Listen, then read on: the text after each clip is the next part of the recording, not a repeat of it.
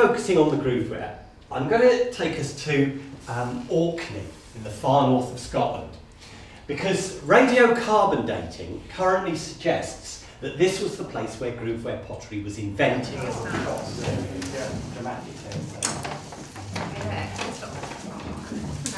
Suddenly, you get that immediate connection to the fact that these people were living real lives. They weren't just examples of the Neolithic, they were genuine people doing real things, and of which producing a pot was just one aspect. So.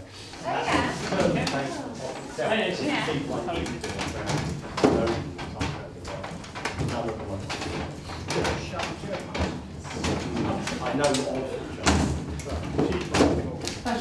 absolutely perfect, just uh,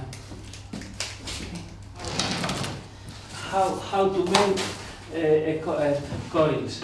Uh, get um, please an amount of clay, just like this, like, uh, like sausage. If you find it sort of going duk, duk, duk, duk, duk, instead of rolling evenly, you're probably pressing a little bit too hard. Everybody's pot is very much, there's, there's an element of your own personalities in your pots. What I do first is uh, joining it like this with my fingers and showing you.